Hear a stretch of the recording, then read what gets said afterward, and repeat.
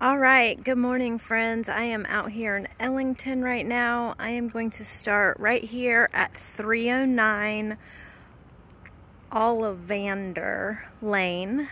Um, this one is a Telfair floor plan. This is 2771 square feet. It is on 0.14 acres. It is on the bottom of our sheet, and I notice that this one actually has a fenced in backyard.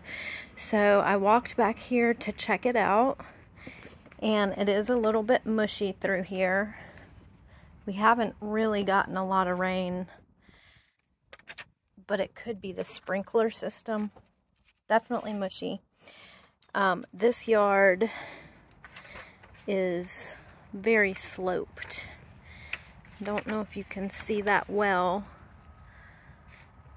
but this is what the 0.414 acres looks like on this Telfair. And it's unusual to get a fenced backyard, so that is kind of a perk. Um, it goes downhill. It's got a pretty good slope to it, though. So, um, I'm going to walk across the street. We've got quite a few other floor plans and lots to look at.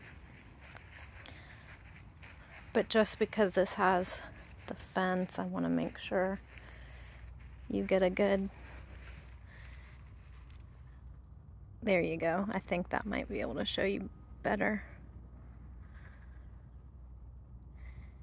It is not mushy down here just on that side of the house. Um, so, Telfair, this one's 309. As I'm walking out, you'll see where we're going across the street.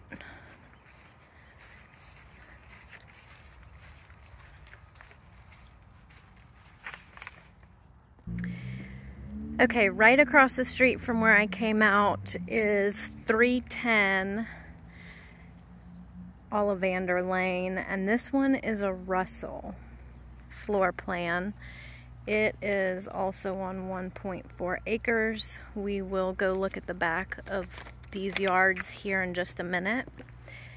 This one is the 308. It is a Pickens floor plan. Also 1.4 acres. And then this one is 306. This is going to be the Telfair.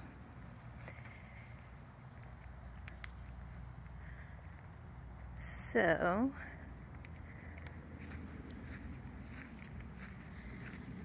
um, some of these back here have houses that are already occupied so you can add on to the fence. Oops, sorry, just stepped into a hole. I am feeling wet along this line as well. And it looks like wheels of some sort have been rolled back here. I don't know what that is. Maybe it's just the water flow pattern. Again, we are at the backyard of the Telfair. This one is not nearly as sloped, but it does have little incline coming off of the patio.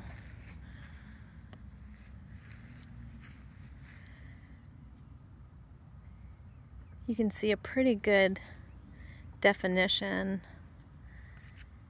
of lot lines with these pins and also the grass.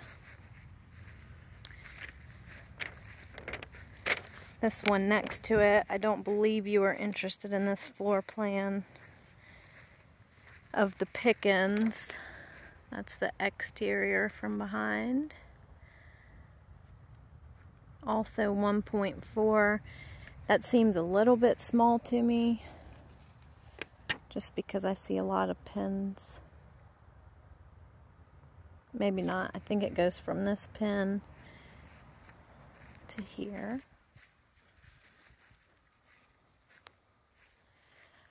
of all of these backyards, um, 310, the Russell floor plan, seems to have the flattest backyard. It's and it seems to be probably the largest. So it's going to go from this pin. I think you could build on to that fence line. Um,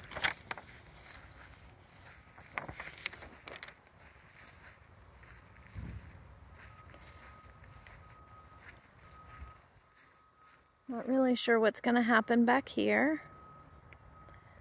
But for now it's vegetation.